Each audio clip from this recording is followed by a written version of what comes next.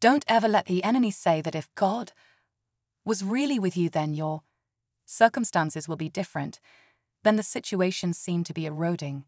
From under our feet, the enemy always arrived with the same speech.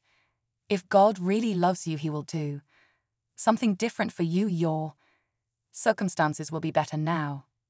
No, God always love you. God is always for you. God always has a plan, and even in whatever situation you might be facing, reflect his heart.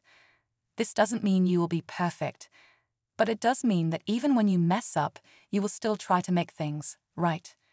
And not because you must work for God's favor or on his love, but because your action reveal what is happening inside of you. God is always with you. He is with you the entire time and this change your outlook to know that Almighty God is in every circumstances with you, the one who has answers. Even on the most overwhelming of days, trust that God is by your side. Today ask yourself, do my thought match what people see on the outside? Then ask God, show me how to do what you'd have called me to do. The service is done by any brand of Christianity that promises theirs. always going to be a better road. Or insist that your circumstances will change or claim everything is going to.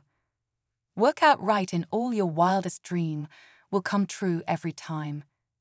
As Jesus said in Luke verse 45, what you say flow from what is in your heart. So how can we live an honorable life? by doing good work with a humility.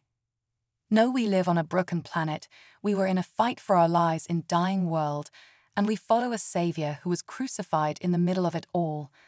Sometimes our circumstances doesn't add up to the dream we have in vision, but the never mean God isn't with us. That come from wisdom, not worldly wisdom, but godly wisdom. Close to God who invented wisdom, he transform us from the inside out. So if you claim to be wise and understand God's way, prove it by the way. You live, and when question arise, go to look at Hebrews 13 verse 5, just one of the place where God promises I will never leave you nor forsake you. That truth alone God never leave us nor forsake us, that's a game changer. God bless you.